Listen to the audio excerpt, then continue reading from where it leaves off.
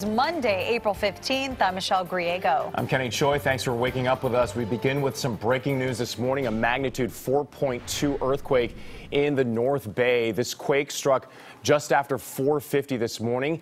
It was centered about 15 miles northeast of Healdsburg.